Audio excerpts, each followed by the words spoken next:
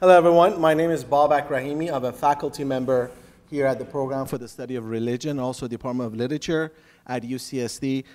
Uh, I'm very happy to welcome you to the Forum on Religion. The forum is designed so we could invite a leading scholar to come and engage on campus, to engage with faculty, uh, uh, campus faculty members, and discuss uh, key issues that relate to religion and society. Uh, and, and, really the idea is to rethink religion uh, and how it impacts uh, American, contemporary American life, and also connect it to a broader global processes. So there's a lot to talk about tonight. There's a lot to discuss. I won't take too much of your time, but I'd like to, uh, before I introduce our guest speaker and our campus um, faculty uh, uh, speakers as well, let me just say uh, I'd like to thank Tanya Myers for working very hard. Where's Tanya? Tanya Myers for working very hard in, in organizing and putting, putting this event together. Also like to thank my uh, colleagues in the program for the study of religion, Professor Dana Claris. Uh, Dana, where are you? For, for her support, and also Professor Richard Cohen for his support in having an event like this. It's a fantastic event in which allows UCSD to encounter a leading scholar. But before I introduce our leading uh, scholar, let me just briefly um, tell you what the forum, how the forum is actually organized. The structure is that the speaker uh, guest will give her talk, and after that, we'll have around 20, 30 minutes of discussion by UCSD faculty. And after that, uh, the, uh, you know, this place will be open up to Q&A section. So you could actually ask any questions you have related to the topic. To introduce our UCSD faculty here, um, going by alphab alphabetical order, First is Roshanak Kheshti. She is Assistant Professor of Ethnic Studies and Affiliate Faculty in Critical Gender Studies program here at UCSD. She has published in the journals Feminist Studies, American Quarterly, Hypatia, and Parallax, and has forthcoming manuscript entitled Modernity's Ear.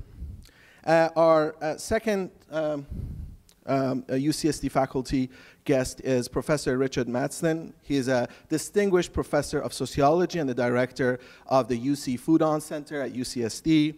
Uh, professor Madsen is known for his numerous books and articles and also uh, co-edited books.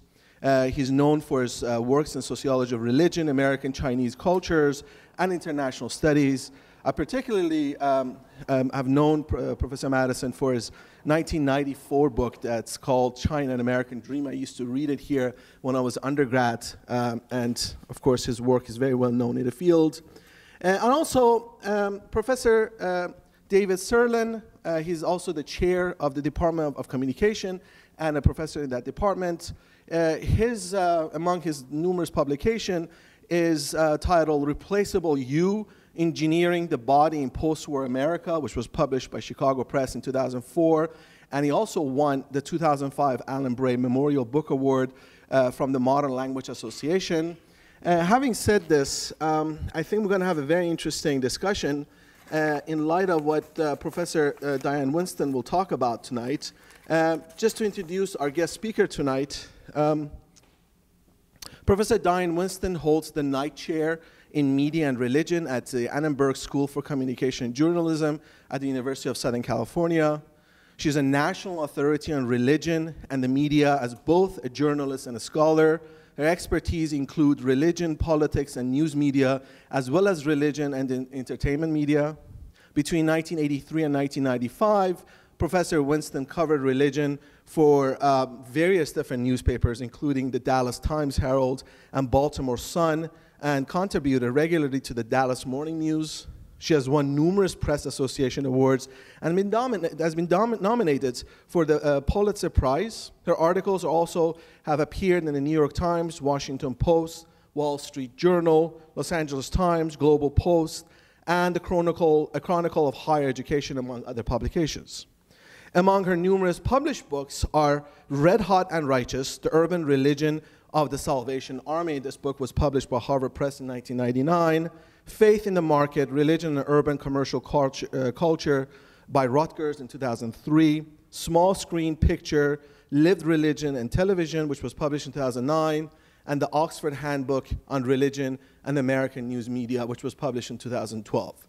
Uh, I'd like to now invite Professor Winston to come to the, please. Thank you.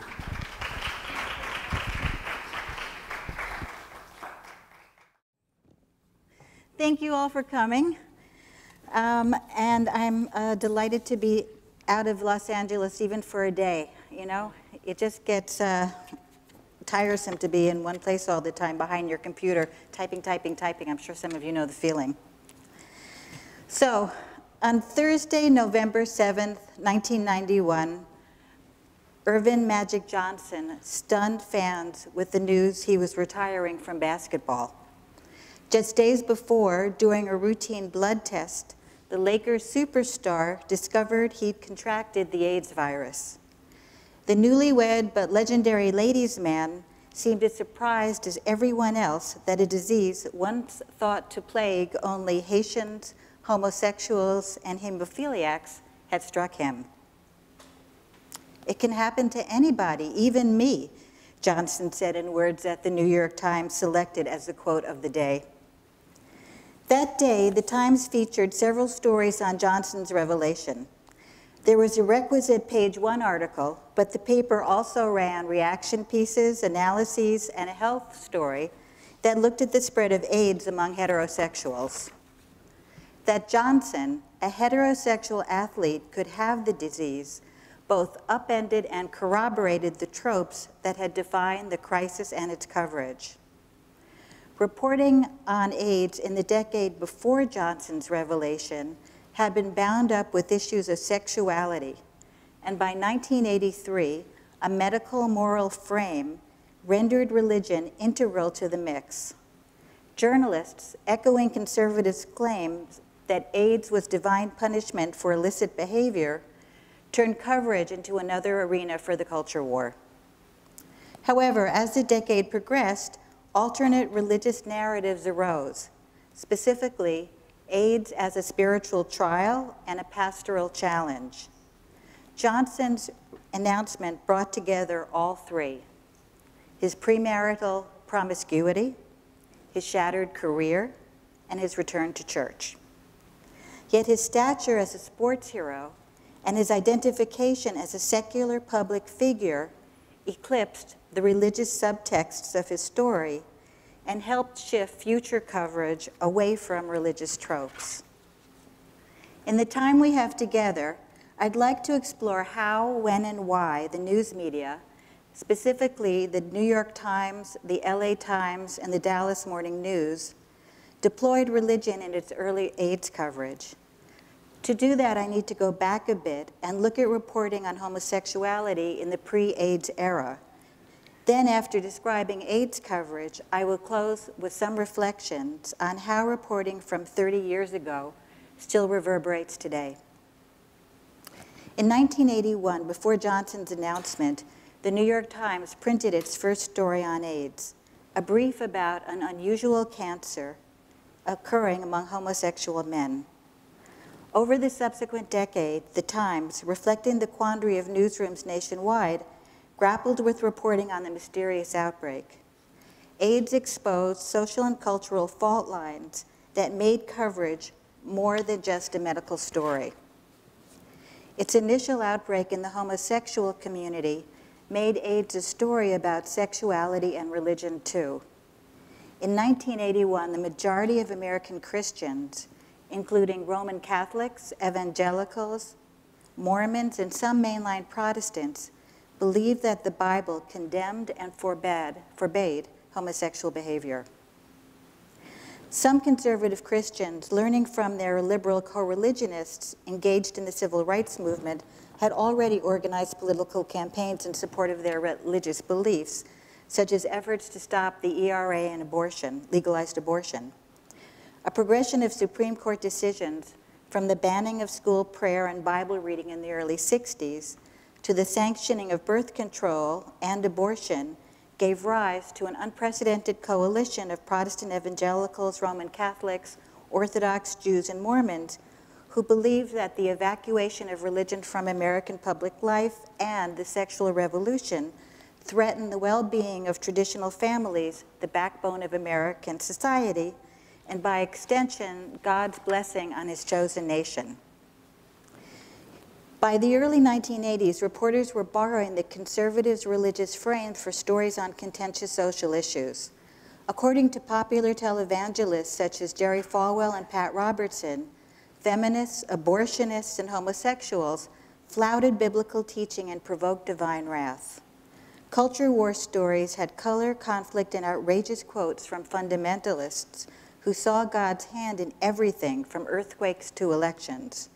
While some readers were familiar with these beliefs, others were unaware of such sentiments until journalists mainstreamed them. Falwell and Robertson were eminently quotable, and their national followings gave them legitimacy.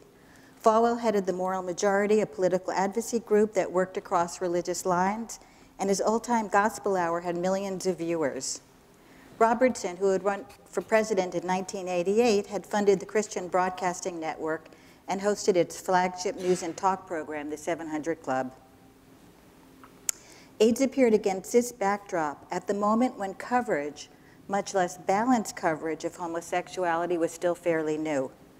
According to author Edward Alwood, quote, until World War II, homosexuals were unmentionable in American newspapers and magazines, except in tabloids and the African American press, which mockingly covered drag balls.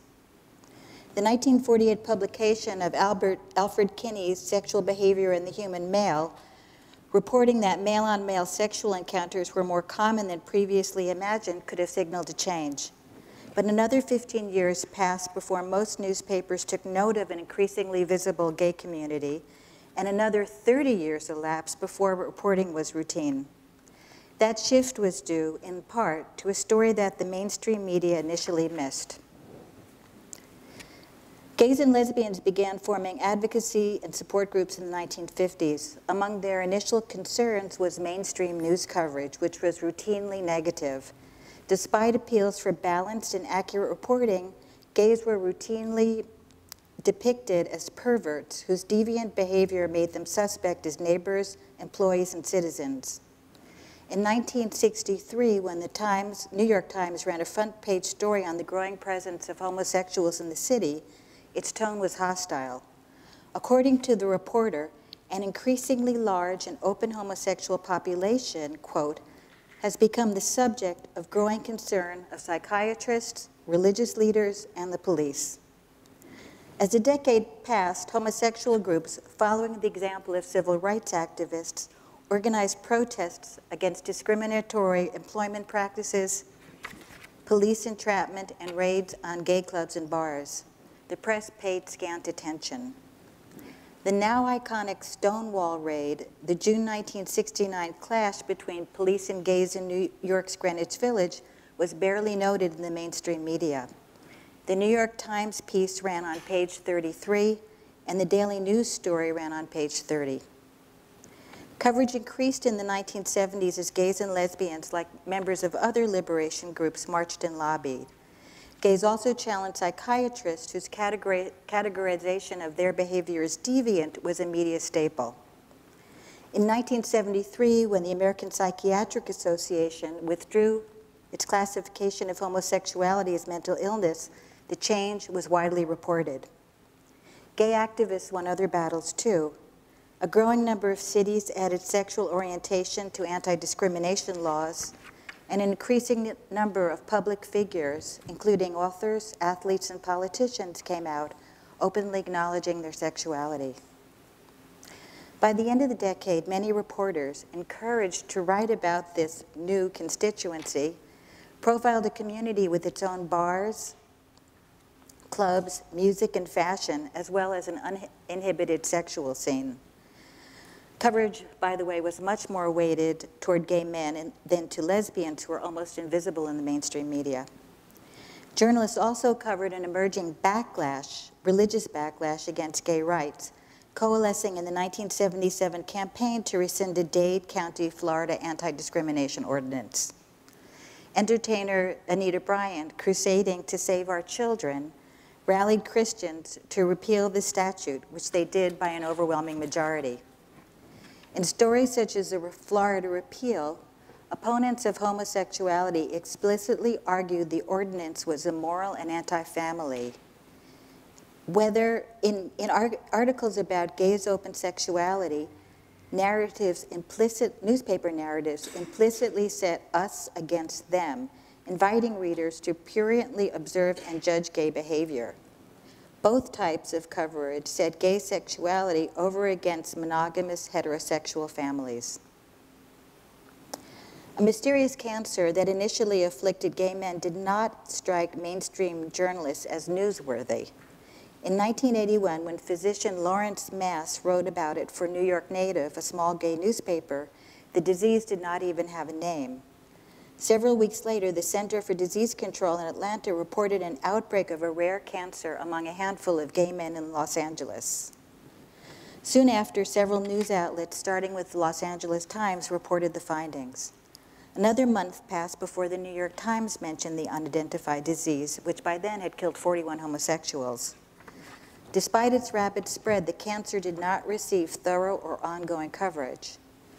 Communication scholar Larry Gross has speculated that a mix of homophobia, disinterest, and squeamishness kept the press at bay. If a reporter came forward to cover the story, his editor would assume he was a homosexual, a liability in most newsrooms. Editors also assumed that readers would not care about an illness that did not directly affect them. According to Alwood, reporters at the New York Times had an especially difficult time. Even though Iphigene Sulzberger, the daughter of the newspaper's owner, the wife of its second publisher, and the mother of its current publisher, was removed from daily um, decision making, her wishes were, not surprisingly, followed. In a 1966 letter to her son, the publisher, Sulzberger described homosexuality as a perversion, adding it should not be played on the front of a section. Moreover, many staffers considered Abe Rosenthal, the metropolitan editor who oversaw the 1963 story on homosexuals' growing visibility, and the executive editor when the AIDS crisis began, to be homophobic. Thus, despite covering the city with the largest gay community in the US and the highest number of AIDS cases, the New York Times reportage, especially in the early years, was spotty. Dallas, on the other hand, despite its Sunbelt location and large evangelical population, provided a very different scenario. Exact statistics are hard to come by, but the metro area may have had the largest, if not the most visible, gay community in the South. The city was also home to the Cathedral of Hope, the country's largest gay church. Early on, editors at the Dallas Morning News decided to provide aggressive and comprehensive coverage of AIDS, and by the late 1980s had a full-time reporter on the beat. Throughout the 80s, the Morning News coverage looked at AIDS from multiple perspectives, including its impact on individuals, religious groups, and the public health system. It also ran national stories that put AIDS in a wider context. By the 1980s, the LA Times had shed its image as a parochial right-wing newspaper and had emerged as a journalistic force. East Coast newsrooms were captive to Beltway politics or Wall Street machinations, but journalists at the LA Times were encouraged to follow their instincts. The LA Times was the first mainstream newspaper to report on AIDS and the first to run a, first, a front page story on its spread. The medical reporter wrote the early pieces, but others found angles to follow up, and reporting intensified as the decade progressed. The paper's openness also reflected the city's large gay population and diverse religious landscape. Notwithstanding the paper's different approaches, AIDS was not a big story in the early 80s. Some outlets, including the San Francisco papers, the Philadelphia Inquirer, and Long Island Newsday, provided regular updates and features. But the reticence of the New York Times, the industry's standard bearer, provided cover for newsrooms that preferred to ignore the growing problem. According to author James Kinsella, much of the early AIDS reporting fell to the wire services, the Associated Press and United Press International, and it focused more on the hard news of the epidemic spread rather than on the crisis' human dimension. By 1982, nearly 800 AIDS cases had been diagnosed. According to one study, children were increasingly infected, which suggested everyone was at risk. Although a threat to the general population was quickly dismissed, the implication was clear. No one was safe.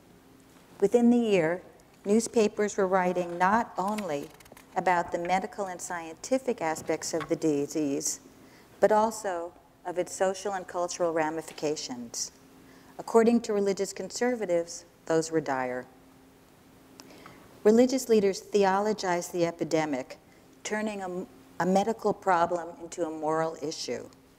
AIDS was not just a disease, it was the embodiment of sin. The Reverend Jerry Falwell crystallized the conservative position when he declared in July 1983 that AIDS was God's punishment against those, quote, who break the laws of nature and the laws of moral decency. A media savvy fundamentalist, Falwell's pithy condemnations of abortion and feminism had garnered headlines.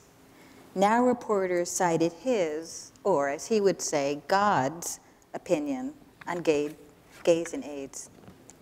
In a series of speeches and media appearances that summer, Falwell stated that homosexuality was a sin and that AIDS was divine judgment against a nation that tolerated immorality.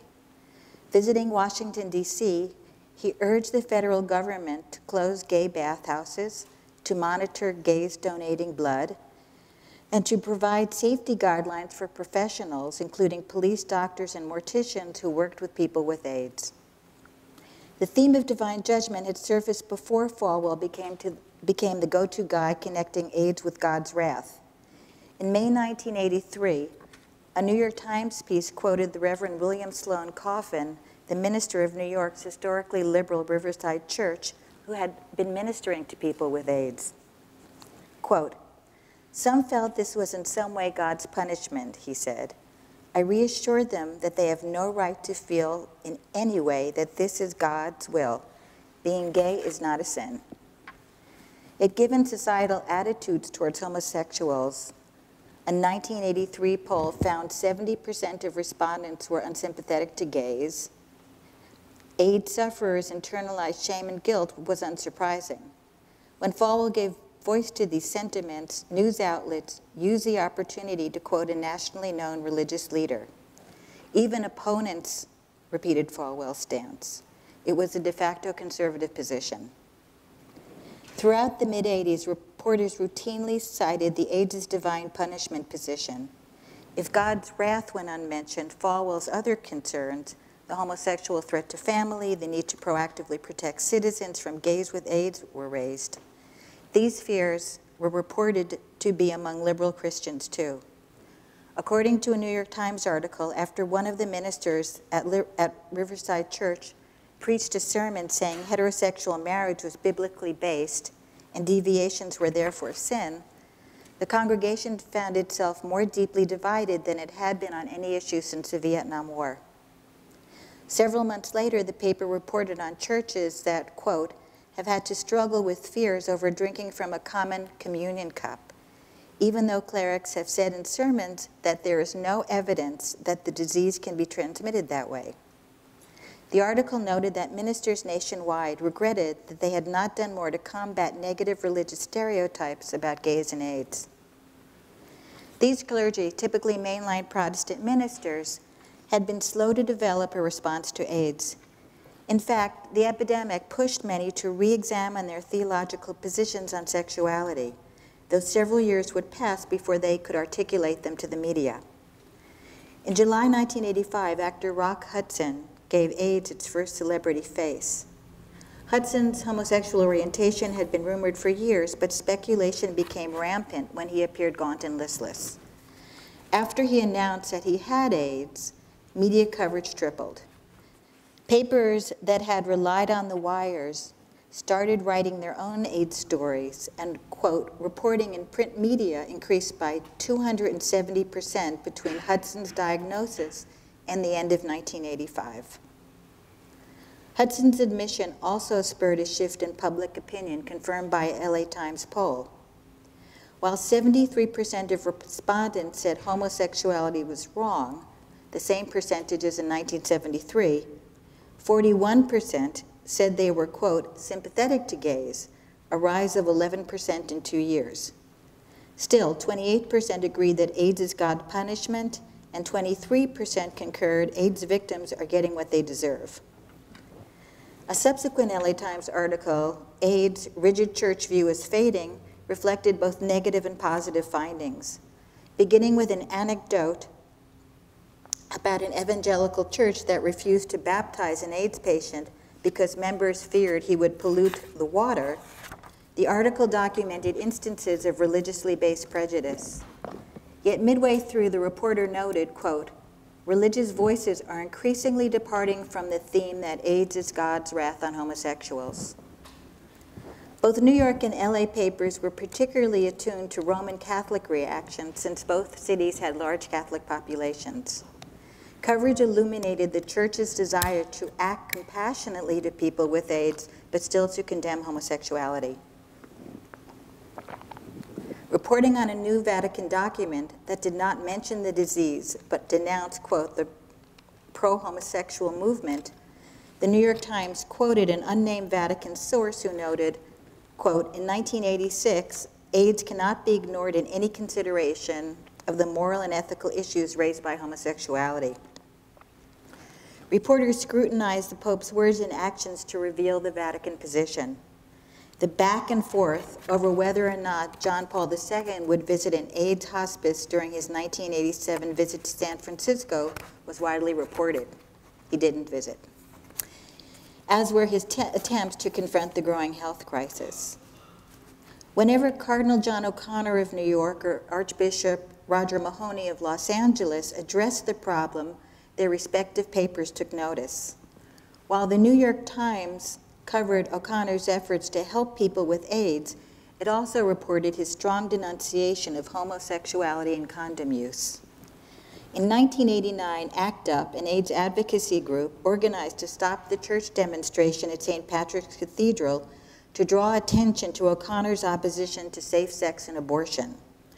More than 4,500 protesters tried to obstruct services. Even the Times staid reportage could not mask the antic disruption. Quote, some of the protesters chained themselves to pews inside the cathedral, while others shouted or lay in the aisles. The following day, O'Connor told a reporter that Mass would be interrupted, quote, only over my dead body. Several weeks later, a similar protest occurred in Los Angeles, but this time only 10 of the 50 activists present participated, during Mahony's sermon at midnight Christmas Mass, demonstrators walked silently to the altar, then departed. Mahony, who hewed the same line as O'Connor but with less antagonism, elicited less hostility. New York reporters quoted O'Connor's tough, tough talk. Journalists in LA described Mahony's bridge building. At a 1986 prayer vigil, Mahony, quote, broke new ground by addressing Catholic homosexuals for the first time as gay Catholics instead of homosexuals. Many in attendance were visibly touched. Quote, Morris Kight, a veteran gay activist, leapt to his feet muttering, this is awesome, simply awesome. In the pew behind him, a man wearing a tan leather jacket rose, weeping silently and applauding. Yet a letter that Mahony sent to 2,500 nuns and priests over the age of 65 sparked incredulous headlines. The Archbishop requested volunteers for an experimental AIDS vaccine. Since the HIV virus was in the serum, there was a chance that volunteers could be infected, spurring a national debate over the ethics of recruiting human subjects for medical trials. Between mid March and mid April, the Dallas Morning News ran three stories on Mahony's letter. Dallas's own bishop, Thomas Tschoepe, told the paper that the request did not represent a softening in church policy towards homosexuals, but rather an attempt to alleviate suffering. The bishop made clear that compassionate religious responses to AIDS did not mitigate the divine judgment on homosexuality. As the decade progressed, reporters wrote less about religious condemnation of gays, even if, as Bishop Tschoepe had noted, there was no change in the conservative position. But as AIDS coverage shifted from medical reports on the spread of the illness to feature stories on its human toll, journalists wrote more about coping with AIDS and caring for its victims. Inasmuch as people with AIDS asked, why me? And the unaffected wondered, What should I do? religion suffused many of the stories. By the mid 80s, reporters increasingly explored how religious folks met the pastoral challenges posed by the epidemics. Stories included a nod to the Falwellian perspective, but religious censure, implicitly contrasted with religious caregiving, appeared misguided. Summing up the sentiment, the lead of a 1985 New York Times story reported that religious leaders, quote, called on the public not to stand in judgment of AIDS victims, but to grow in compassion for them. Other stories tracked how different faith groups were responding to the illness. The New York Times reported on a new Passover Haggadah for people with AIDS. the Dallas Morning News covered Southern Baptist efforts to establish a special ministry, and the LA Times profiled a gay black pastor starting an outreach program for AIDS patients. Even articles that were not about religious outreach frequently cited the work of religious motivated volunteers. Stories stressing the humanity of AIDS patients and their caregivers coincided with the growing number of people who contracted the disease through blood transfusions or heterosexual contact. Still, the issue, religious issue of homosexuality did not go away in reporting. In the mid to late 1980s, stories about clergy with AIDS became the big news. The morning news reported that the disease had struck rabbis, ministers, and priests. There were more than a dozen cases among the nation's 57,000 Roman Catholic clerics, and an additional nine had already died. The news was bad enough for Jews and Protestants who believed sexual relations should be confined to heterosexual marriage, but it was especially embarrassing for the Catholic Church, which demanded priestly celibacy. It also was a perfect gotcha story for newspapers that relished exposing religious hypocrisy. Still, it was one thing to report on nameless priests who, dying of AIDS, were, quote, transferred into relative obscurity. It was another to thing to disclose that a prominent Methodist bishop, a family man and a longtime church bulwark, had died of the disease. Soon after retired Methodist, United Methodist Bishop Finis Crutchfield passed away on May 20, 1987, rumors circulated that he had succumbed to AIDS. The family initially denied the story, but on May 24th, the Reverend Charles Crutchfield, his son, acknowledged that his father died of AIDS, but he was not homosexual. The subsequent Dallas Morning News story quoted Crutchfield's supposition that he might never know how his father was infected. A follow-up piece reported that the bishop's death humanized AIDS for the church and might nudge it towards accepting homosexuality. End of story for the Dallas Morning News. Several months later, however, the Texas Monthly broke the story of Crutchfield's closeted gay life, belying his son's speculation that the bishop caught the disease by ministering to gay patients. The Dallas Morning News did find local clergy with their own come to Jesus AIDS experience. Two Episcopal priests, the Reverends Chris Steele and Ted Karpf, made AIDS central to their ministries after life changing encounters. Steele was a hospital chaplain when she met a heterosexual businessman who contracted the virus during a blood transfusion. Soon after, she started counseling AIDS patients facing imminent death. It's the finest thing one can do, she told the paper. To give people hope when they go through the shadow of death was tremendously rewarding for me. Karpf likewise developed an AIDS ministry by chance. A dying young man appeared at his church door after other congregations refused to help him. Karpf couldn't turn him away. Quote, I was scandalized that anyone could tell another human being, no, we are not going to take care of you. But it happened. Religious attitudes were in flux. A 1987 Gallup poll found that Roman Catholic and non evangelical Christians were among the strongest supporters of the rights of AIDS victims, and that 50% of the public, up 8% in four months, disagreed that AIDS was a divine punishment for moral decline. 50% disagreed that it was a divine punishment. But the news media singled out one church group as aloof from the crisis. Despite the rising number of African Americans with AIDS, black congregations offered little comfort and even less outreach to the afflicted, according to press reports. In a 1987 New York Times story, city health officials said there are more cases of AIDS among black and Hispanic men than whites, and that intravenous drug users, 90% of whom were black or Hispanic, accounted for over half of the AIDS deaths. Two years later, the paper reported that black clergy, breaking what they say is the silence of many blacks about AIDS, quote, launched a local campaign to mobilize nearly 600 congregations by next fall. Public officials, noting that a disproportionate number of blacks and Hispanics had contracted the disease, said community activism, especially by churches, is long overdue. Black churches had been slow to respond, reporters noted, because most believed that homosexuality was a sin. The combination of public health crisis and religious conflict kept black churches in the news. A 1991 Dallas Morning News piece reported that even though black, gay, and bisexual men were two to three times more likely to contract AIDS than whites, AIDS remained off limits in many black congregations.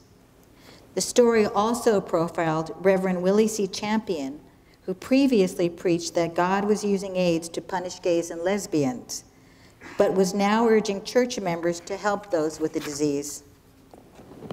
Several months later, after Magic Johnson's announcement, black churches were again in the news. Black ministers break silence, discuss AIDS, read the LA Times headline. The New York Times story, reluctantly, black churches confront AIDS, was as much about the theological issues that stymied outreach as new church activities. The focus on black churches took the spotlight off white ones with similar beliefs. At the time when many moderate white Christians were ready to see AIDS as a spiritual test, could they reach out compassionately to the afflicted? News outlets now cast blacks as bigoted homophobes. Magic Johnson was not a homosexual, a Haitian, or a drug user. Neither had he contracted the virus through a blood transfusion. He was a successful athlete whose sexual choices had disastrous consequences. But even before Johnson proved AIDS could affect anyone, the news media profiled individuals unfairly struck by the tragedy. Many of those stories fell into two categories heterosexual martyrs and gay saints.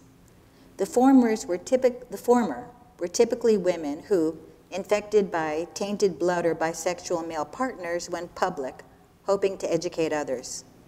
Saints were gay men whose personal suffering became public performances of love and religious affirmation.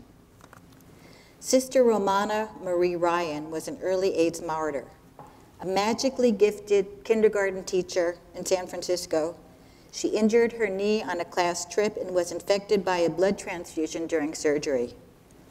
According to her rector, quote, the 66 year old celibate nun was, quote, the last person anyone would think would get this kind of disease.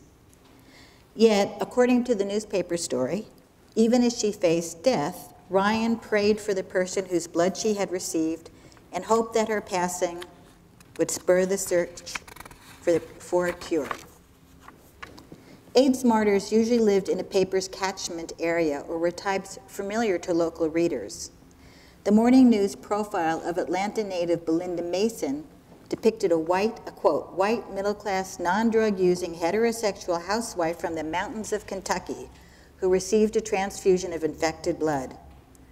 Learning she had AIDS, Mason, quote, dedicated her life to helping others understand the pain, fear, and tragedy. Physically devastated with only months to live, Mason remained steadfast in her commitment to changing public opinion, starting with her very own Southern Baptist Convention. It has, quote, it has been dreadful, the way people have acted and the things people have done in the name of God. It almost makes me ashamed to be a Baptist because I think we can do better than that. In terms of ink spilt, the martyr most covered during the decade was an Indiana teenager, Ryan White.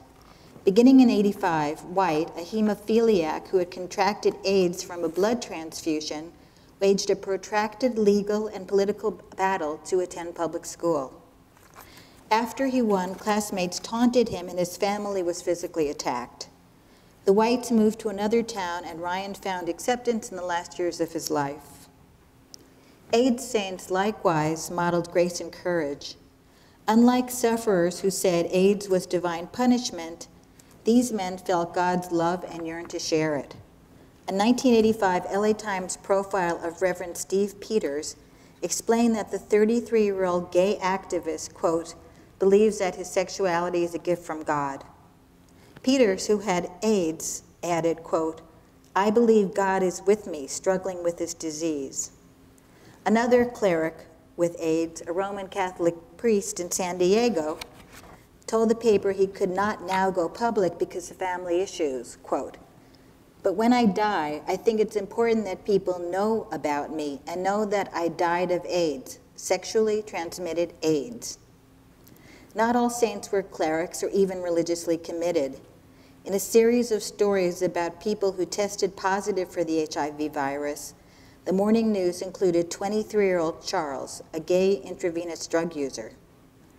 Since learning about his status, Charles stopped taking drugs and started helping people with AIDS. Although he did not belong to a religious group, Charles saw his work as a spiritual mission.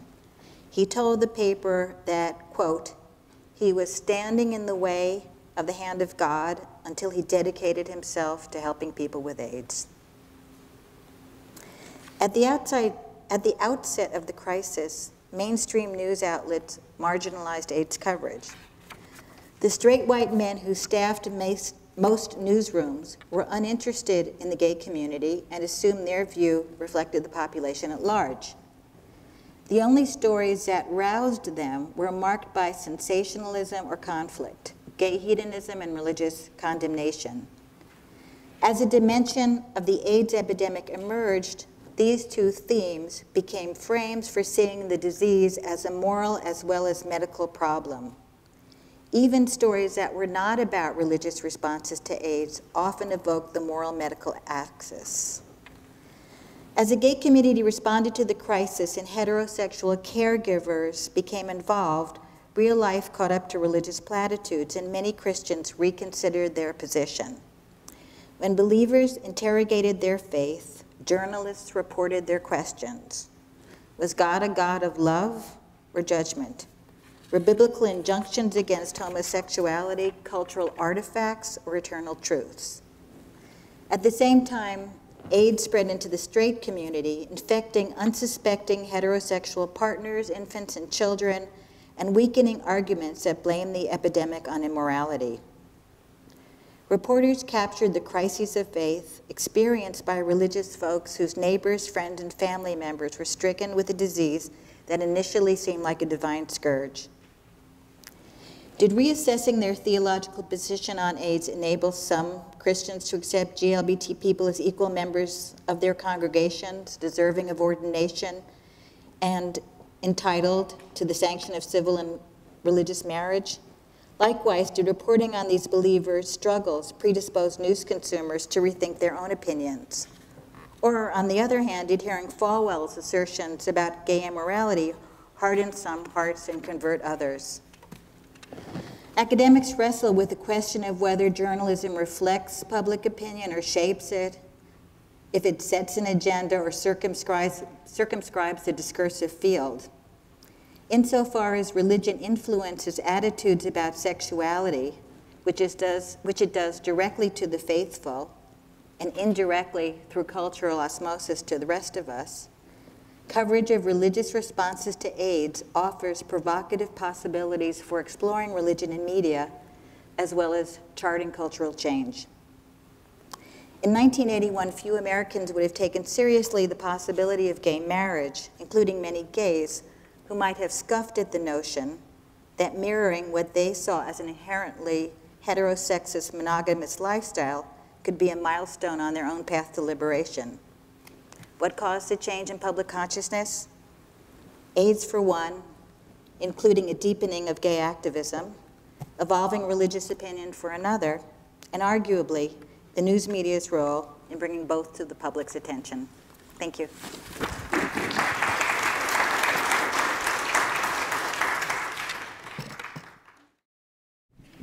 So I'd like to invite uh, campus faculty here, our guests, uh, to first of all reflect and, and you know, give us your opinion about uh, this very fascinating uh, talk, and then afterwards we'll open up to Q&A. But uh, for the next uh, few minutes at least, we, we want to have focus here. So um, I'll, I'll hand it to you.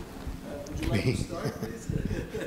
Put the spotlight on I you. I wouldn't have sat here if I thought that that was the beginning. Uh, Okay. um, uh, This is a very wonderful talk, and very rich and fascinating, and raises lots of really important issues. Uh, One uh, thing I would uh, think about is uh, the relationship between uh, in religious affiliations in the USA in the 80s and 90s, and the reaction of churches to AIDS and then media coverage it. Now, according to uh, you know Robert Putnam's written this book uh, called American Grace, with lots of statistics about shifting patterns of religious affiliation in the USA. He thinks that uh, the rise, especially of kind of conservative, uh, especially evangelical Christianity in late 70s and 80s, was a reaction to, um, uh, you know, uh, the shift in, in, in, in, in, in mores, especially sexual ones, in, from the 60s, you know, sex, drugs, rock and roll. And he interprets uh, the rise as, as basically being caused by, at least in part, by uh, people's uh, unease with what they saw to be too rapid social change and unsettling nature of the 60s c- cultural movements. And this provoked a kind of a backlash. Uh, but then he sees in the 1990s another kind of shift in which uh, the rise of what he calls the nones, N-O-N-E-S. So there's an increase in kind of conservative evangelical Christianity in the 80s, and then in the 90, new generation of 90s, uh, a falling off, and, and more and more people identify themselves as as having no religion or no affiliation, even though they're searching spiritually, perhaps. And and how would this fit in with with this pattern? Um, I, I think maybe one way partially look at it, especially in the intersection with the media, is the way in which certain kinds of religious entrepreneurs, especially elites, uh, try to uh, make use of the, the, the, the AIDS epidemic to uh, increase their flocks. And uh, Falwell, I think, was a good, good example of and, and, and to use this problem as a kind of a vindication of a certain kind of conservative morality, uh, but to do so in fairly dramatic terms and maybe in, in exaggerated terms, God's punishment and so forth and so on, which uh, could have had the result of, you know, making them celebrities and then uh, increasing the, the number of, of, you know, people coming to the congregations. Now, what Putnam seemed to think is that what happened in the 90s was that those kinds of, of, of, of religious entrepreneurs overplayed their hand, and the rise of what he calls Christians in the 80s uh, overdid it and turned people off by politicizing it and, and be, being very, very rigid and so forth, and especially younger. of religious groups about uh, homosexuality as, as, as being too rigid and so forth. So uh, this partly tracks this story and intersects with it, I think. Uh, so uh, in, in, in the 80s, this condemnation of, of, of AIDS and of homosexuality and AIDS as a God's punishment for it. And then in the 90s, there's been a, a shift. Now, whether this shift is connected with the media directly or media re- reflects it is it's complicated. I'm not so sure, but uh, part of the shift is result of people being turned off by the excessive rhetoric of, of people in the in, in the 80s, these leaders, and I, I might uh, also suggest making a distinction between kind of religious elites, uh, you know, leaders like Falwell and Pat Robertson, and for that matter, bishops, uh, cardinals like Cardinal O'Connor, et cetera, and ordinary kind of lay people. Uh, And I think in many of these cases, what happens is the elites, the celebrities, think that they, you know, they, they want to expand their flocks and their influence, and they have to kind of their beliefs in fairly dramatic terms, uh, often black and white, stereotypical. Whereas ordinary people have to deal with complexities of life and have a more complicated, uh, nuanced understanding. And, and therefore, people with that more complex understanding and caught up with these elites who the, the lay people saw as being out of touch and too rigid and so forth. So uh, I would maybe, my initial reflection is to, you know, tell the story at least those terms. With the media uh, affecting it, uh, one, one thing you, point out very interesting is how certain turning points come, in fact, through um, the actions of certain kinds of celebrities. So Magic Johnson uh, getting the disease. So, uh, I, and I, other things I've done also suggest that uh, changes in consciousness come, there's a gradual shift, but then they're kind of dramatic little quantum leaps, which also come from kind of spectacular events, which also triggered by things that, that celebrities do. And you get different kinds of celebrities. You get people like Magic Johnson, et cetera. You get religious celebrities like, like Pat Robertson and so forth. And so you get partly kind of a dialectic of, of celebrities in this, which then, of course, capture the attention of the media in various kinds of ways. So uh, my, my initial, my thoughts building upon what, what you said is, is is my take of how shifts in American uh, public life have, have kind of intersected with the, the development of this, uh, of, of the AIDS epidemic, AIDS crisis, and so forth. Uh, thank you for, for your talk. Um, it's been provocative for me uh, to think about the prompt that you left off with, um, having to do with whether or not reporting predisposed readers to kind of reimagine their relationship to homosexuality and gay and lesbian politics in the public sphere helping us to arrive at a moment where gay marriage becomes, you know, reported alongside, you know, uh, bombs over Baghdad, for example.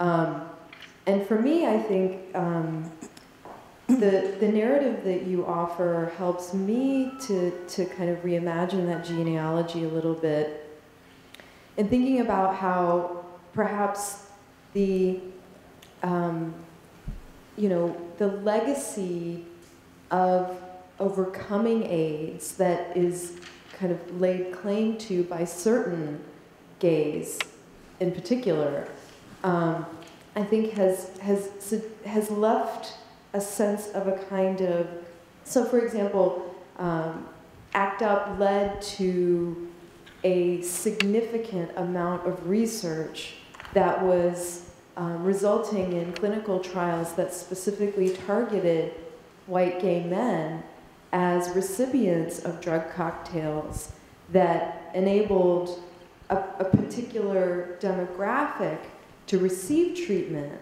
And that, I think, has possibly contributed to a kind of narrative of, um, of, of uh, almost like a cure and, and, you know, when we look at AIDS in 2013, AIDS, the geography of AIDS has shifted so significantly that it is no longer even imagined to exist in the US.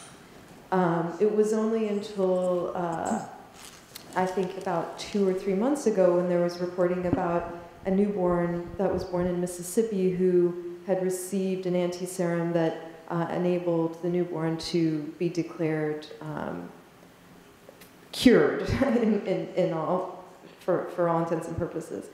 Um, so I wonder um, if the reporting possibly resulted in contributing to a kind of sense of an exceptionalism that was attached to particular gay bodies mm-hmm. in their capacity to overcome that which was imagined to be, you know, that which would have decimated them as a population. And I wonder um, how, how that may have led us to a moment of gay marriage, um, which is also a phenomenon that is primarily represented by similar kinds of bodies, you know. Um, and so I wonder, so, so your, your focus on evangelic, evangelicalism um, has also kind of inspired me to think a little bit about to what degree has event has that particular Christianity been enabled to thrive because of AIDS. So when we look at Africa and the kind of spread of evangelical Christianity in Africa, it almost corresponds with the spread of AIDS in Africa, mm-hmm. such that evangelical Christianity is such an, a kind of proliferating religious form in Africa at a moment when AIDS is almost exclusively contained in Africa and Brazil. So, um, so I guess what I would love to hear you think, talk about, if, if you know, this is something that interests you, is to what degree we might see a kind of corresponding relationship between evangelical Christianity and the spread of AIDS, especially when we look beyond the U.S. context and into sites where AIDS continues to proliferate and where drugs have, for most, for, for the most part, not proliferated. Um, like the other panelists, thank you, Diane, for um, your talk. Um, and uh, it brought me back uh, in very uh, powerful ways to the period of the late 1980s when, uh, as a young college student as, and as a member of ACT UP, I was um, very much shaped by religious discourse, however, in a very different way.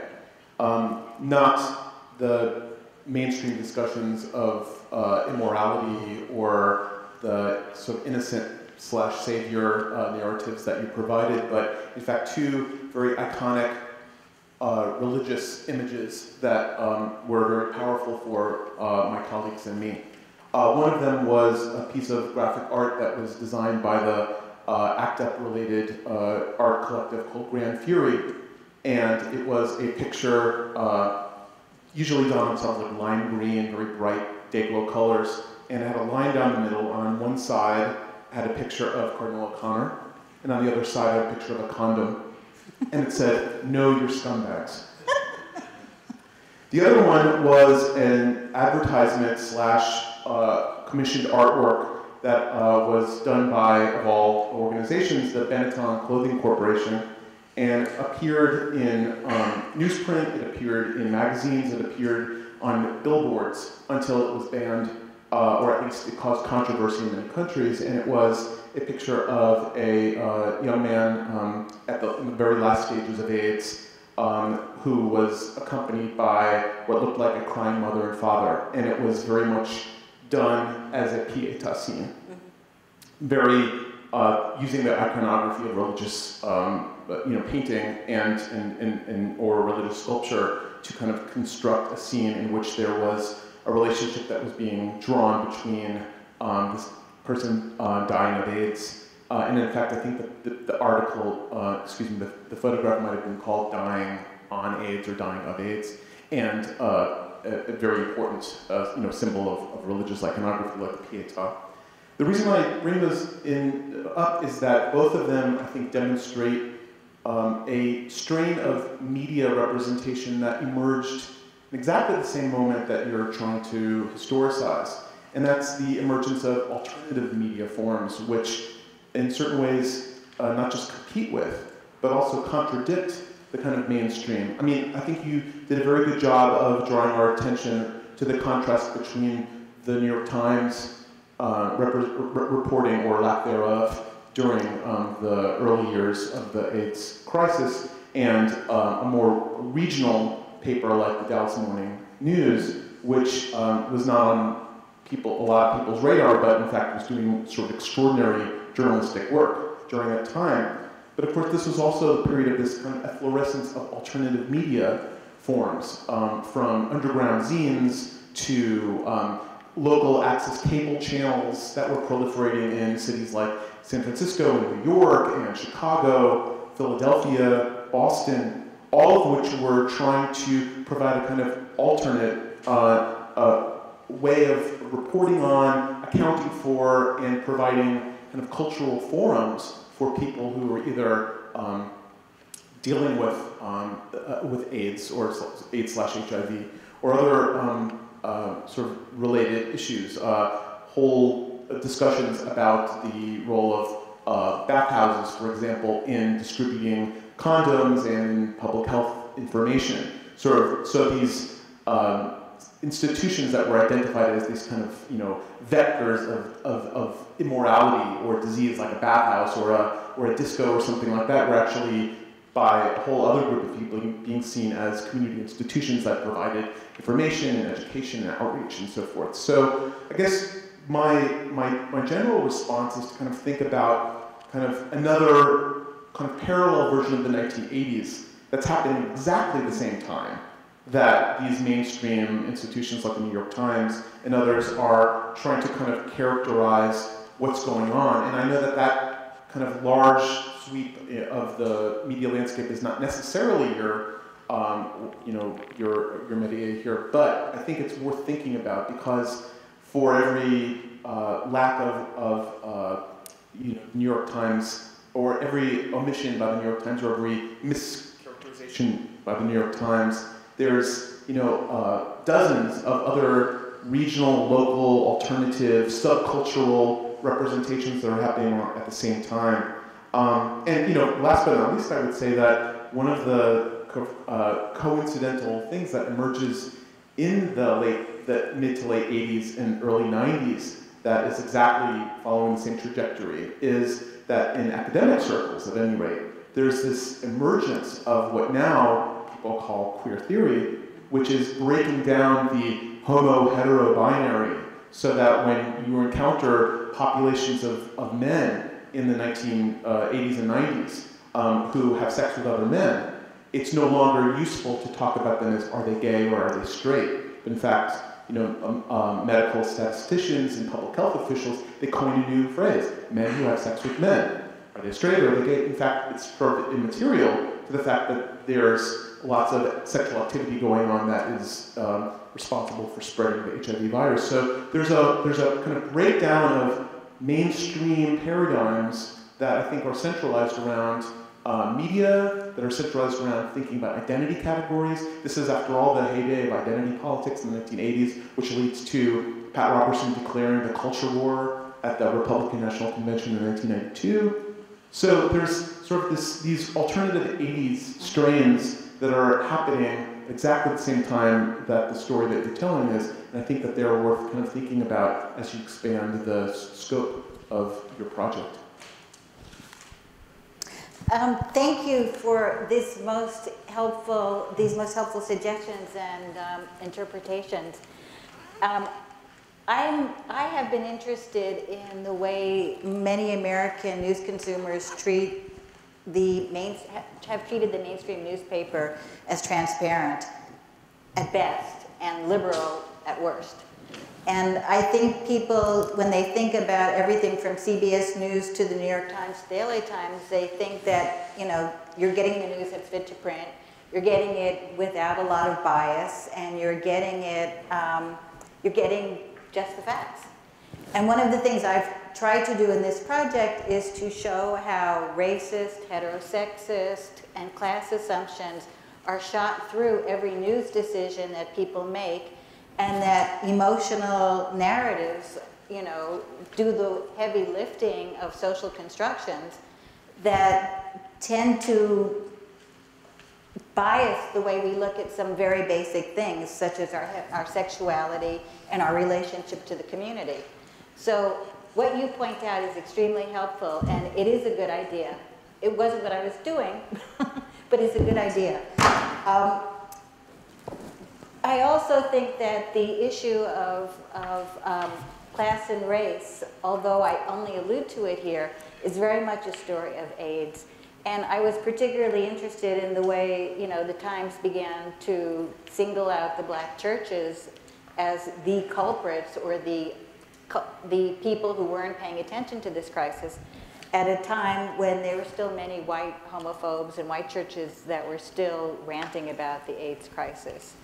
And the way it was easy for them to wag fingers, this community isn't doing anything, like there aren't a host of problems that are being dealt with, with by these communities. And I think your insight about what's happening in Africa is very exciting and would be a terrific project. Um, and yes, as far as looking at this in terms of the larger project of shifts in American religion, what's so striking to me is how the numbers have changed. I mean, if you look at the percentages of Americans in the early, in the late 70s and early 80s who were, you know, uncomfortable with homosexuality, and you think about where we are now, it's tremendous.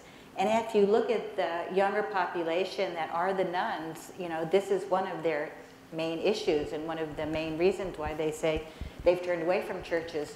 So um, overall, I mean, I think looking at the AIDS crisis provides us with an opportunity to think about race, class, change, religion, media, it, through these new lenses that kind of go above and beyond ways we normally think about it as sort of, you know, oh, that happened in that 1980s and now it's over and we don't have to remember it anymore. I mean, it's still reverberating today, which is what interests me so much. If I can just jump in, one thing that might be worth drawing attention to in terms of the history of a newspaper like the Dallas Morning Herald, which I know you know quite well, is in terms of its relationship to church reporting. You know, here's a newspaper that was doing quite uh, kind of uh, radical reporting in the 1980s. But the Dallas Morning Herald in the United States is also well known for being one of the um, uh, most important papers in terms of uh, publicizing and reporting on scandals of pedophilia uh, among um, priests, and has done a tremendous amount of politi- of work of, of, sort of looking at the you know relocation of priests from parishes in the United States and also abroad. So has done so. So its relationship to uh, relig- religious history or religious culture uh, from the AIDS crisis of the, of, of the early to mid 1980s through its most recent reportage on uh, sort of the, the crisis of the church of, of a different kind um, into the early 21st century is, is quite a remarkable shift. So that newspaper's coverage has um, really been responsible for uh, enormously complex ways of thinking about um, church and state um, in the United and health in the United States.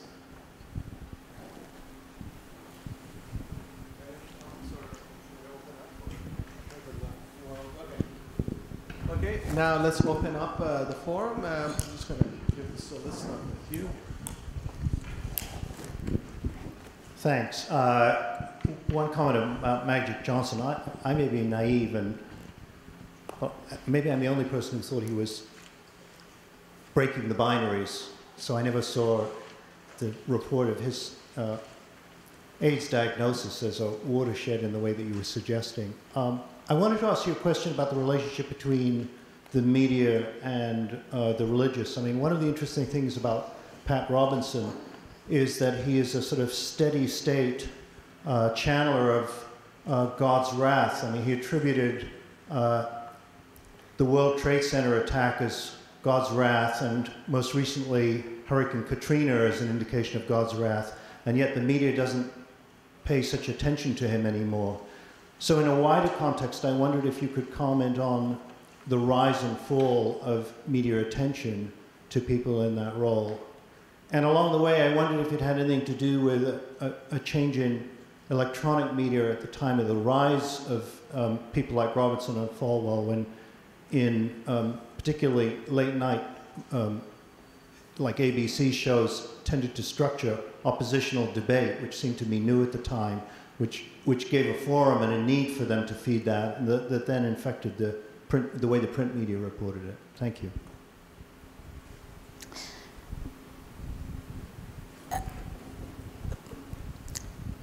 In the mainstream media in the 80s, um, because of several factors, including the success of USA Today and the birth of CNN, um, news media became a lot more interested in, in sensationalism and conflict. I mean, those strains have been present there since the beginning of American news media, but it became more so as newspapers also began being parts of large conglomerates and the bottom line became more important.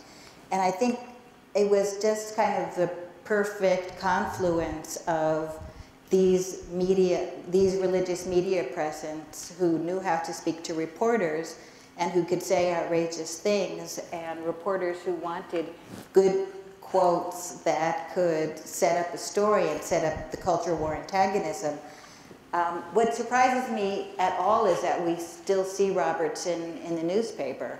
Um, the fact that they are asking him about Katrina baffles me when what he's saying and the constituency he represents seems to be so tangential to the mainstream of American politics right now. It's not as if there are not conservative religious figures, it's just that he does not seem to represent them. Um, I think that the news media still does quote those kind of polarized figures. They're just not, they're just not doing it with Falwell and, well, Falwell's dead, but they're just not doing it with people like Robertson anymore. I don't think that setting up those sort of extreme positions is something that stopped happening. I just think new people are in the mix. Uh, Professor Winston, uh, in, in reflecting uh, on uh, your revealing comments about the media and its virtually ignoring uh, these issues that you discussed, it was very helpful. Um, and then Professor Madsen mentioned the nones in the 90s. I was wondering, in thinking about your own program, the Knight program, why is it that you completely ignore anti-theism in that program. Uh, since I think the Pew Center says that that's a growing number, the nones of the 90s are now 20% of the American population. Uh, are you making a mistake? Are you making the same mistake that the uh, uh big time newspapers made in the 80s? Um, well, we, we are, I don't have a center, so I'm not, a, my center isn't ignoring anything. And in fact, um, that's one of, I mean, I'm teaching a course on that. So um, I. Well, one reads your website with you know interest, but one never sees anything about this other deeply. Well, my, my website has been um, on hiatus for almost a year now. So I, I have a very, very slow moving web designer. so, but, but actually, my focus on the website when I put it back together again is going to be on religion um, in, an, in an international context. So it may not have as much about nones as you might hope because internationally that's not what my programmatic focus is. I personally am engaged with trying to raise money to do some projects on that. So if you know any rich people who want to give me some money, I would put much more time and energy into it. I mean, I think I'm not alone in thinking this, but you know, studying secularisms and, and nones and it, it's sort of the way the field is moving right now. And I think we need people to really pay attention to it. It's just a matter of getting the time and the support to do it. So from your mouth to Ford's ears. Thank you. Well, that was very interesting. And I'm wondering if you feel comfortable speculating on how the gay community, especially the male gay community, has actually changed, maybe in conjunction with the journalistic reportage. So you see this shift from, at least what looks like from the outside, a, a more of a hedonistic approach to, you know, now we're getting married and, you know, as it were, settling down. And I'm wondering if you think that um, that, that shift is um, an appearance that we see just from how, how journalists are reporting on gay marriage, or whether you think that the AIDS crisis had a kind of internal dialectic inside the gay community that did have to do with issues of pleasure and, and intimacy and, um, and numbers of partners. I mean, in, in your wonderful talk, it was kind of a binary between innocent people who were suffering from an illness and how they were um, being mistreated by the media, and I don't, I don't doubt the authenticity of that. But I wondered if, if you were shifting your focus to the history of the gay community, whether any of the issues that were in the very blaming, religious oriented press reportage, you know, had, had a meaning. Maybe not that meaning, but some kind of meaning. Well, I, I am many things, but one thing I'm not is an historian or a sociologist of the gay community. I mean, I am interested in media and religion, and I'm interested, and I mean, it's interesting to me, one thing that you said especially, is does the media represent any kind of reality, or is it all just made up? And, you know, when the media the media only does stories on things that it's going to, that it thinks is interesting or it thinks other people is going to think are interesting. So when it's writing about gay libertinism in the 1970s, you know, does that represent 95% of the population or 5% of the population? You know, someone, I suppose one could find it out. What's interesting to me, though, is that the media chose to tell that story and how it told the story. So whether it's real is another dimension from the fact that this is a medi mediated story. So I don't know, I mean, as someone who is in communication and who thinks about these issues, I'd be curious to what you think about that because I guess that's what I was saying before about transparency. We tend to think that what the media tells us is the story, but it's is it ever the story? And whose story is it? And what does it have to do with reality? And I find those questions very fascinating. Well, I would just add to the one of the things that's probably one of the most uh, sort of dispiriting things that I've heard in the past uh, few years is among when I speak to my younger, when my, my students or people, let's say, who are a generation younger than me, uh, who say to me some version of all the men and these are usually young men, um, lots of different ethnic backgrounds. Uh, all the men who either contracted uh, HIV uh, uh, are still around, or and, it, and, it's because of miracles of modern medicine, or those who had AIDS are all dead. So the slate is now clean, and I can do what I want, and I don't really have to think about safe sex because if I contract HIV, there's a magic pill. So it's almost as if 30 years of HIV education slash AIDS activism has, if not been forgotten, then at least it's been sort of um, kind of folded into uh, new ways of thinking about um, uh, being in a world where there's some medicine that can just take care of that, and so some version of hedonism, if you want to use that word, um, sort of has returned among certain gay men um, whereas there's others who have now been extremely seduced by the thrills of domesticity and same-sex marriage and monogamy and, and so forth. So there's, you know, I'm making grand generalizations, but I think that you can kind of see both of those narratives coexisting at the same time. Um, I don't really have to think about it because all those people are dead and I can just really have a good time and I don't even identify as gay so it doesn't even matter. You know, I'll just go off and be on the DL as they say.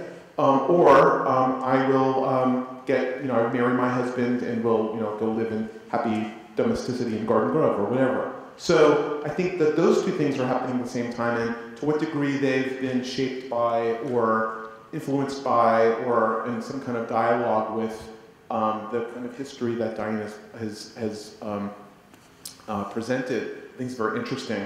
And I mean, it, Roshi's comment about the way in which the popular imagination has now relocated the AIDS crisis to other parts of the world, of course ignores the fact that there's still the AIDS crisis happening in the United States.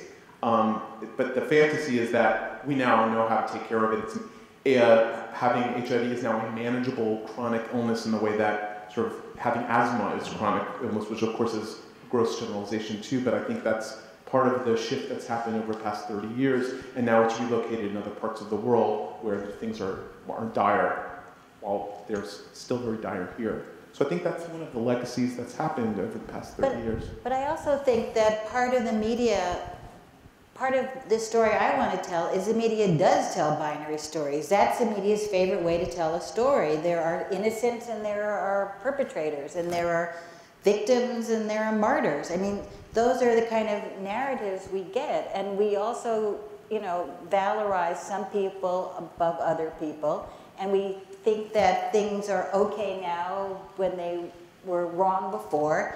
I mean, and yet the media still plays an important role in helping us think about the world we live in and relate to other people and address social issues. So penetrating those media narratives and trying to figure out what story is being told, how's it being told, who's being represented in which way, and who's being left out, I think helps us to think about the normalization we do in the course of a day when we think, oh, that person hates America and this person likes America. I mean, I, I just think the media has to be radically deconstructed in that way if we're ever going to understand who we are and what we're doing. Now, obviously, today it's much easier to do that because we have so many alternative forms of news media, and we don't have to rely on the mainstream media. But back in the 80s, you know, yes, there was a growing world of alternative alternatives, but still, there was a it was a hegemon, greatly hegemonic force back then. Professor Winston, I just want to thank you so much for this talk. It was, it was absolutely fascinating, and I want to thank all the members of the panel too. And actually, it was a combination of Professor Winston's and Roshanak. Okay, I got that. Okay. Uh, your comment that brings up the question that I have here. Uh, this whole concept of uh, HIV bodies is something that I wanted to get into, and in, particular, your interest in the relationship between media and religion. And Roshanak's comment where the geography of AIDS is now, it's really in Africa, and comparing the idea of African bodies with AIDS compared to uh, homosexual bodies with AIDS in the 1980s, where there does seem to be the idea where American media to a great extent just ignores those bodies. It doesn't have any sort of quality. Where in the early 1980s, there is a moral quality put on those bodies when they are identified. And I want to know in your project, how much do you plan to talk about in a way, whether it's intentionally uh, collusive relationship between, which is my conspiratorial mind working, but a collusive relationship working between the media and evangelicals, because those bodies are basically given to the evangelicals to create this idea of what can be something that is amoral that is the idea of the end. The, there's a very apocalyptic sense in the 1980s that happens in evangelical on the right. And there is, a, there is a rise of the right, which you talk about in your talk. And there does seem to, we've seen the comments in the panelists, how the idea of using that body to rise evangelical power. And part two of my question, if you'll forgive me, is uh, in terms of the media then, not just in terms of those who are actually within the newspaper proper, the editors, the writers, but I'm curious, are you also going to get into the owners of those newspapers and how they might be involved in decisions that are made? Since we talk so much today about how owners of newspapers are involved in decisions that happen with newspapers. And their, their political decisions and their, their social ideals seem to be impacting newspapers so much today. And I, I have no idea how that existed in the 80s, but I'm very curious to know if there's any way to discover that. Well, this is actually part of a larger project about the media's role in facilitating the Reagan Revolution. That's what I was going to ask. Is Reagan any part of this at all? yeah. First time his, the name has been mentioned, and which is a parallel with the fact that Reagan didn't mention the word AIDS until 1987. So I think there's some transhistorical thing happening right now.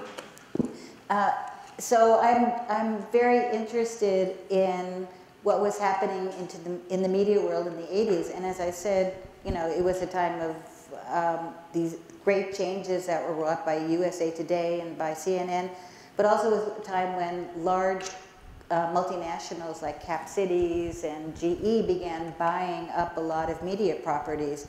And so they kind of went from this noblesse oblige of, you know, family owners to larger corporations who were more bottom line oriented. So, I mean, that's part of the story as well. Um, and I don't know if these people were in collusion. I don't think they, some of them may have been in collusion with evangelicals. I don't know. But I think they shared a concern with the neoliberal worldview that helped them all see the same kind of story. I mean, they all kind of tracked together at that time. So the whole contention that the media was liberal, and which was something that was repeated and repeated from Nixon onwards, is something I'm hoping to refute in this work. Okay, any more questions? There's one more after that. We probably have to end. Thank, thanks so much for this talk. Um, I'm kind of thinking about um, coming from the perspective of, of literature and um, thinking about the role that art may have had to play in the conversation. In some ways, you, you see, particularly based on what, what you've presented, you see um, a lot of um, kind of right-leaning media around um, the AIDS epidemic, especially in the 1980s, and then you see this backlash in the world of art. Uh, the Day Without Art, the musical Rent, you see all of these films, you see all of these movie stars that are kind of coming out on the other side, so that there's also almost kind of a juxtaposition between art and art and news media. And I'm wondering how you see that figuring into this whole conversation. How do you see art, literature, film as is that part of media? Um, because it's certainly picked up by the media, or right. is there almost kind of a refutation of it? Um, I've been thinking about this week, that exact thing this week, not in terms of the AIDS crisis, but I've been writing about the new patriotism of the 80s and how that meme was sort of begun in newspapers and, and then you saw it come to life in a very variety of TV shows and movies in the mid 80s. Um, and so I was thinking about how do these things feed off of each other and, and um, I, I still think though, and maybe this is my bias and someone from your, your camp could refute me, I still think that, at least in that period, the media sort of laid down a template for how we would think about things. And then it might have gotten picked up and generated, and, be, and even if you opposed it, it was still basically, you know, the, the discursive field that the media had set down, that the news media had set down. And I think part of that is due to the fact that the news media was seen as real, whereas the art world was seen as made up. And so the real precedes the made, the made up in a certain, in a way. Um, now, did it resonate back? I, I think it would be hard for reporters to see, or even publishers to see themselves as being subject to the nonfiction world. I mean, it's one thing to report on it, it's another thing to think you're inspired by it or you're moved by it. I mean, it would be interesting to try to plumb that. I don't know, what do you think? no, it, would be interesting. I, I see it as kind of an interesting um, example of perhaps a, um, a space where, where firms need to see themselves Oh, sorry. Well, I won't repeat that because I spoke loud enough, right? But uh, no, I, I, just see it as an interesting case study, actually, that you're bringing up for art versus media. Right, and of course it's interesting because even in the 80s, you know, there were a lot of newspaper people who went to Hollywood because I think they felt that their reporting wasn't getting the stories out. I'm thinking, you know, Kurt Luedtke and um, who's the guy who did China Beach? A couple of different people. I mean, so obvious I mean, obviously there was a lot of interactions, but I mean, when I think about what are the essential qualities of each, I have to think that um, newspapering took itself more, much more seriously and its boundaries were higher. I, would just say that I think the, the, interface to get at your question is someone like Frank Rich, mm-hmm. um, who was art critic, uh, and uh, theater critic for the New York Times, and so kind of moved. I mean, and then ultimately became you know columnist uh, for the Times. So he kind of is this interface figure between the sort of hierarchical world of the Times, the Gray Lady of 43rd Street, and all that, and then the art world, uh, which he and you know he's a champion of. Uh, plays like Larry Kramer's The Normal Heart, which is a very early AIDS play, and so forth. Okay. He didn't go to um, Hollywood, though. He didn't go to Hollywood, that's right. He did. Well, I know what the, uh, the topic for the next forum will be domesticity in Garden Grove. so, and, and uh, is it because Garden Grove is boring? Are you suggesting that? I'm just kidding. No, but uh, it's, it's a great place to visit. But anyway, uh, I want to thank uh, our guest here, especially Professor Diane Winston, for being here and, and having a wonderful discussion about this topic. Please, everyone. Thank you very much, and thank you everyone for coming tonight. Thank you very much.